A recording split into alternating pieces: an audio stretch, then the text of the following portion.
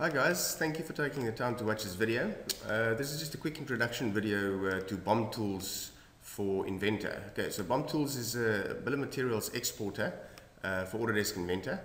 Um, what makes it so unique is uh, that you can export the thumbnail image property of each part in the assembly's uh, bill of materials into Excel. Um, but along with that, uh, you get some of the other part properties exported into Excel as well. One of the new features of BOM tools um, is uh, the ability to also now export part parameters um, into Excel at the same time. Uh, this includes sheet metal flat pattern extent parameters like uh, your width, uh, length and thickness of your uh, flat patterns. Um, so in a nutshell, uh, BOM tools for Inventor, you can export to Excel um, all part properties, parameters, and sheet metal extents information, including a thumbnail image of each part um, in your inventor assembly or bill of materials. Uh, this gives you a great tool uh, to use for downstream processing purposes. Okay, so let's go ahead and export something. So first of all, what I want to do is uh, just export uh, uh, all the components in my structured bill of materials um, in this assembly. Um, now the way BOM Tools works is uh, the assembly that you've got open um, or the active assembly inside Inventor um, is the one that's going to be used uh, for exporting uh, uh, uh the bill of materials. Alright, so this one is going to be active for now, so I'm going to export the structured bill of materials of this assembly. Alright, so let's go ahead and do that. I'm not going to do any settings at this point. Um, I'll go through the other options uh, just now. So very simply, I'm going to export, uh, click the export button. Um, you will see that uh, BOM Tools will also pick up the current active assembly name um, from Inventor and it will give you the option to save your Excel file with that same name. Um, so I'm going to just uh, head over to the temp folder and just save it over there, overwrite. As you can see there it goes. Alright, and very quickly you've got your bill of materials uh, exported from Inventor into, uh, into Excel. As you can see, there's all the images. Um, and obviously what you can do as well, you can rename um, or resize, sorry, the uh, images at this point if you need to. Okay. All right, so let's uh, let's look at something else. Um, all right, so let's do a, a, parts only this time around. And um, at the same time, what we want to do is maybe include some parameters um, as well as uh, sheet metal uh, extents. I've got another assembly that we're going to do the sheet metal extents on. Uh, this assembly actually contains sheet metal parts. So what I want to do is uh, I want to maybe just add some custom parameters um, uh, into this list. So uh, the way this works is this is a scan button um, this will scan the parts that's open in this assembly and it'll give you some of the part parameters in this list.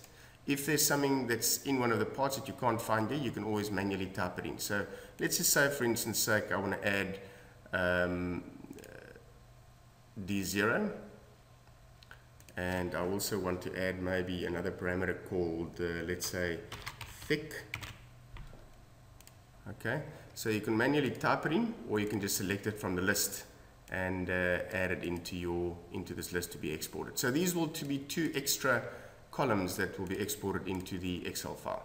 Alright so parts only with those two parameters. Let's have a look. Export I'm going to go and export it to the same folder again. As you can see now there will be a couple more parts Alright, so there we go. Same thing. Um, it opens Excel once it's done, and you'll see all the parts will now be exported um, into the Excel file, and at the same time, you'll have the two uh, extra columns that you specified. Um, if it can't find a thick parameter, that's the custom parameter that we specified. If it can't find it inside the component, it will just leave the cell blank. Now in this case, there is actually no thick parameter in any one of those parts, but anyway, you get the idea.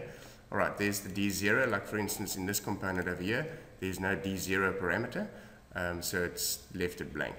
All right, so very easily you can customize the parameters that uh, that's also exported from uh, uh, from Inventor into into Excel. All right, so uh, with the next one, let's try a sheet metal assembly this time.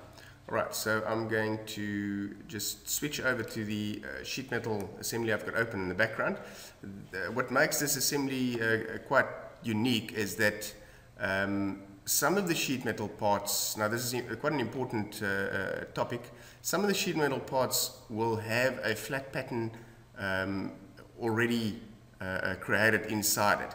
All right, what I mean by that is, if I can just show you an example, let's open this component here for instance you'll notice that it's, it's a 100% complete sheet metal component, but there's no flat pattern um, created inside this part yet. So there's no flat pattern def definition inside this component. So by, by that I mean you have to actually normally manually create a flat pattern um, inside uh, while the part's open uh, for that definition to be to exist in your component. All right, so some of what I'm saying is some of the components inside this um, assembly um, do not actually have flat pattern definitions. Now, that's not a problem. Um, with uh, BOM tools, you can still export um, your sheet metal extents from those components. BOM tools will just manually uh, or automatically each time create the flat pattern definition for each part um, that uh, actually do not have a flat pattern definition. All right, so let's have, have a look at that quickly. All right, so I'm going to go uh, parts only again. Um, this time around I'm going to take all the parameters out. I'm just going to include all the sheet metal extents uh, information. All right, so let's do that again. Um, same folder. Overwrite, yes. Okay, so you will get this message, flat pattern definition missing. All right, so BOM Tools has detected that some sheet metal parts do not contain flat patterns, BOM tools will now try and create the flat patterns. For faster exporting, create the flat pattern definitions while designing. All right, so it's just giving you a heads up, um, saying that some it's detected that some of the parts um, don't have the flat pattern definitions inside them, um, but you will now see that uh, while it's exporting, it's going to be creating those definitions for you as well. All right, so let's have a look.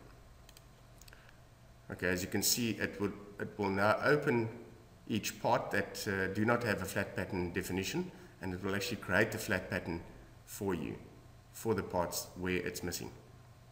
Alright, and once it's done, it opens Excel and uh, you can then see there's all the flat pattern information, sheet metal length, width, and thickness um, parameters. At this point, I might as well mention that it, it, uh, BOM tools do support um, imperial units as well, not just uh, metric. So it should be uh, fine for our American friends over there. All right, so let's uh, close that. All right, uh, guys, so that's it. So if you uh, uh, want to have a look at it, please go over to Tools for Inventor website, download it, and just activate a 15-day trial, um, and you can try it out yourself. Thank you.